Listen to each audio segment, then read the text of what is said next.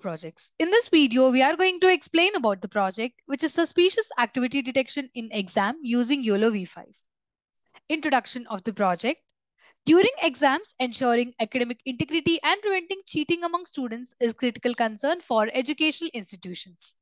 Cheating can take various forms such as copying answers from others using unauthorized materials, accessing information on electronic devices, or collaborating with other students. Detecting and preventing these behaviors is challenging as they can occur subtly and quickly. Traditional methods for detecting suspicious activity in exam often rely on manual supervision by invigilators or the use of CCTV cameras. However, these methods can be labor intensive, time consuming, and prone to human error. They may also struggle to detect subtle forms of cheating. This project focuses on developing a system for detecting suspicious activity in exam using YOLO V5, which is a deep learning based object detection algorithm to automatically identify suspicious behavior such as cheating. By utilizing deep learning, the system can analyze exam footage in real time, accurately detecting and flagging any irregularities. This approach reduces the need for manual supervision and provides a more effective solution for maintaining academic integrity during exams. Deep learning plays a crucial role in this field by enabling the development of highly accurate and efficient object detection algorithms. These algorithms can handle complex exam environments, adapt to different settings, and achieve high levels of accuracy in detecting suspicious behavior. By harnessing the power of deep learning, we can create more robust systems for ensuring fair evaluation, and upholding academic integrity in educational institutions. Coming to objective of the project, the goal is to develop an automated system with the primary objective of detecting and flagging suspicious activity during exams.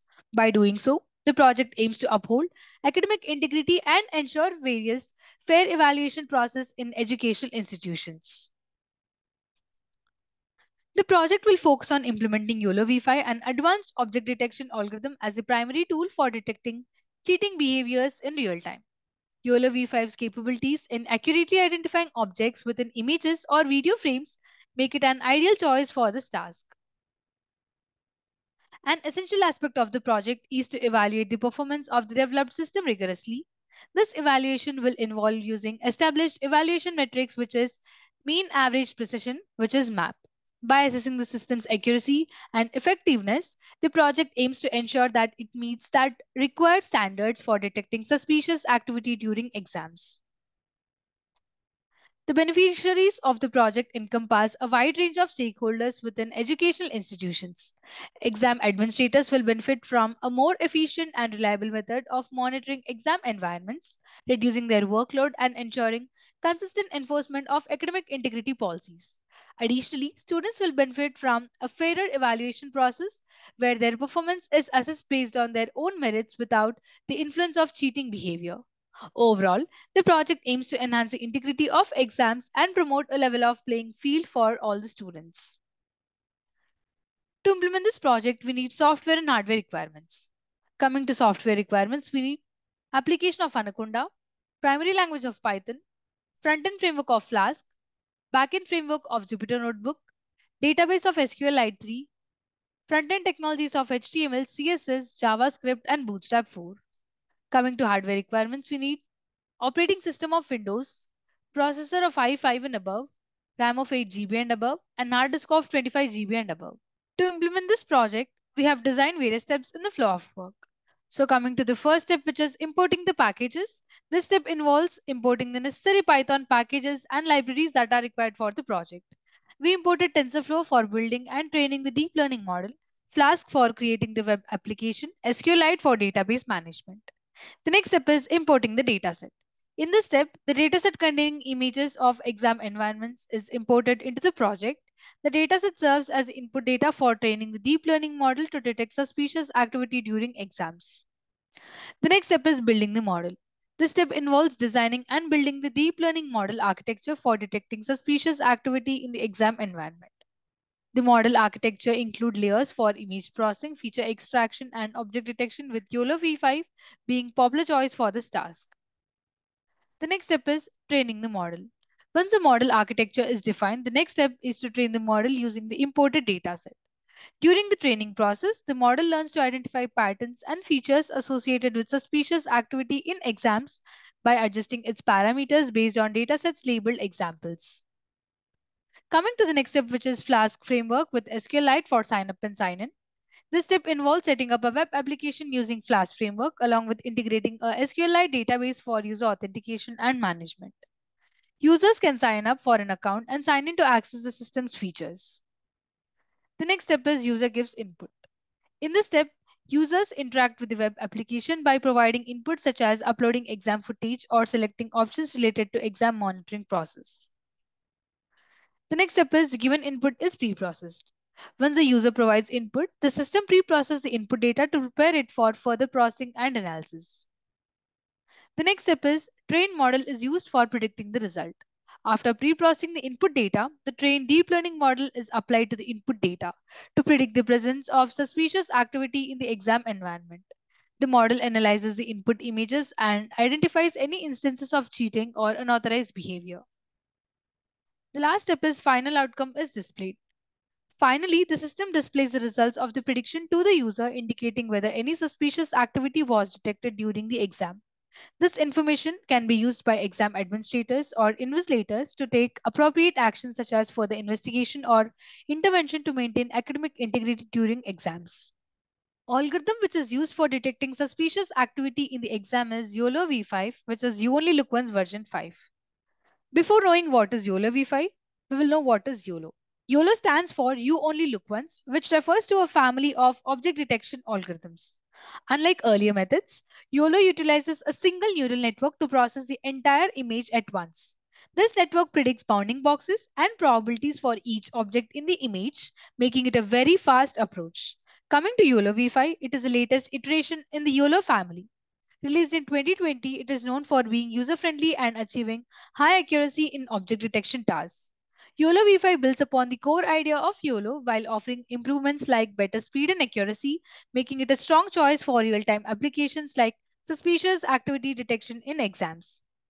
YOLO v5 is chosen for its ability to perform real-time object detection with high accuracy, making it ideal for identifying instances of cheating or suspicious activity during exams. Its efficiency and ease of implementation make it a practical solution for monitoring exam environments and ensuring academic integrity. To execute the project, first we have to open the code folder which contains source code files. This is the code folder of the project. This is the static folder. This folder consists of files related to CSS, JavaScript, and Bootstrap files. This is the templates folder. This folder contains all the HTML pages used in the project. It typically includes files like index.html, about.html, etc., which represent different pages of the website. This is the app.py file. This .py file contains the information related to front-end logic. It includes code written in Python that handles server-side operations such as processing user requests, interacting with the database, and generating dynamic content that to be rendered in HTML templates. This is the model file which contains the algorithm information and that will be loaded into the project code during runtime. This is the notebook.ipynb file. This is a Jupyter notebook file which contains a combination of code, graphs, and outputs all in one place. It allows users to write and execute code in individual cells, making it a popular choice for the data science. This is signup.db file. This file is a database file used to store the user information. Now we need to copy the path of the code folder from the address bar of the file explorer. So I'm copying the path. Now we have to open the Anaconda prompt.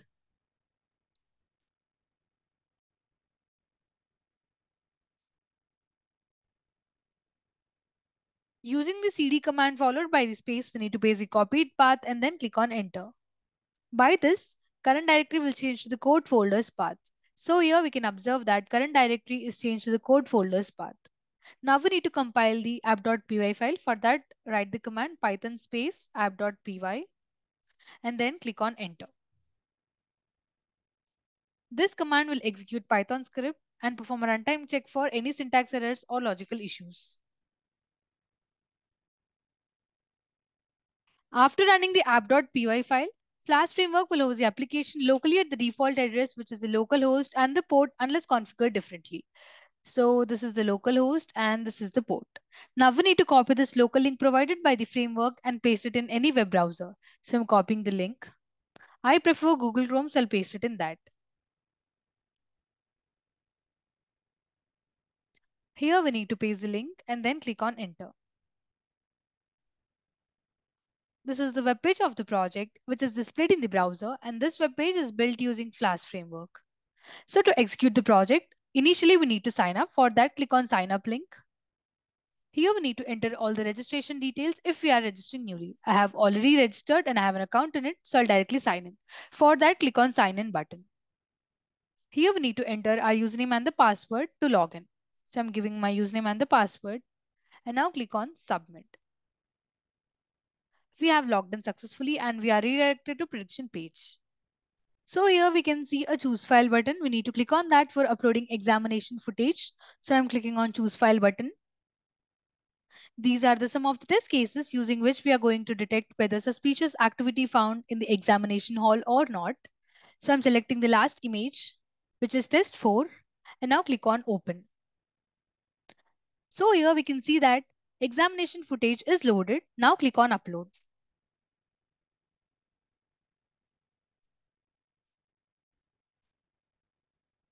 So here we can see that two students are found suspicious in the examination hall and the bounding box is drawn around them and labeled as suspicious activity with the probability score. Now we will try uploading the other footage. Click on try again This time we will upload test 1. Now click on open. Click on upload.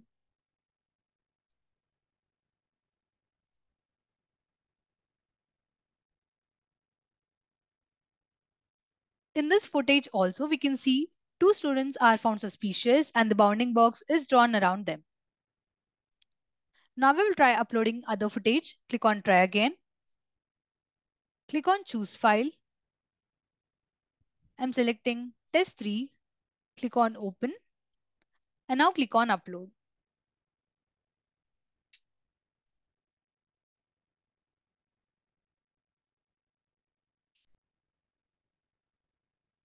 So here we can see that multiple students are found suspicious and bounding box is drawn around them. Now click on logout. In this way, just by giving the footage, which is examination footage to the system, it will detect suspicious students found in that footage. So the conclusion of the project is the project has been successfully developed with all planned features implemented and tested. The system effectively detects and flags suspicious activity during exams contributing to the maintenance of academic integrity in educational institutions. The YOLO V5 algorithm is chosen for its real-time object detection capabilities, which has performed admirably in detecting cheating behaviors within exam environments. Through rigorous testing and evaluation, the algorithm has demonstrated high accuracy and reliability, meeting the project's requirements for effective monitoring. The YOLO V5 algorithm has been seamlessly integrated into the project using Flask framework with SQLite for user authentication and management. The web application provides a user-friendly interface for administrators to upload exam footage and receive alerts for any detected suspicious activity, enhancing the efficiency and effectiveness of exam monitoring process.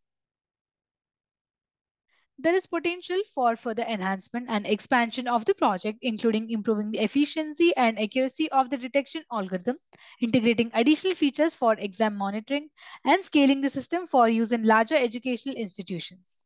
Additionally, exploring the use of advanced techniques such as reinforcement learning for adaptive monitoring and intervention could further enhance the system's capabilities. Thank you for watching video. For more projects please visit our website www.truprojects.in. For updates on latest project videos, please visit Tru Projects YouTube channel and subscribe.